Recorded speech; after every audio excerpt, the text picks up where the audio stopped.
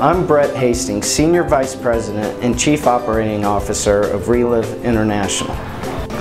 Hi, I'm Steve Albright. I'm Senior Vice President and Chief Financial Officer of Reliv. In my position at Reliv, I, am here to visit our, our Philippine office and work with the staff here for, for a couple of weeks. And, and while we're here in the Philippines, we're taking advantage of visiting the uh, Foundation sites. And today I, I get the pleasure of visiting Welfareville for the first time. We were introduced to the program by a bunch of beautiful, smiling kids. And to be here and see the impact that this program through the generosity of our distributors is having in this community and to get to see the appreciation in the face of the kids and their parents. And it was uh, uh, really uh, a blessing to be here and to experience this firsthand.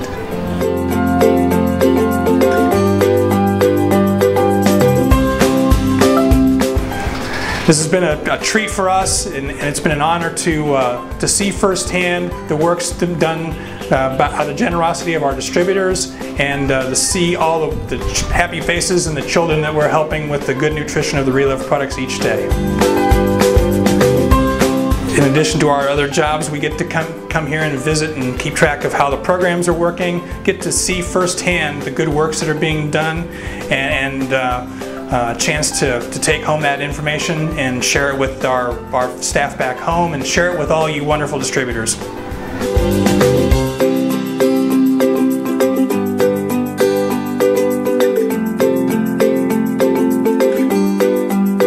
As distributors, you have heard about our programs and you've seen videos such as this one.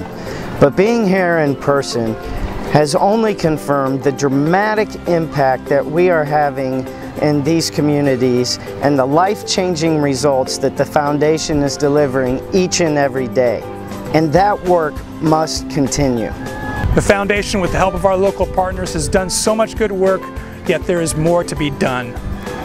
Together with them, we ask for your continued support, and together we can be the change.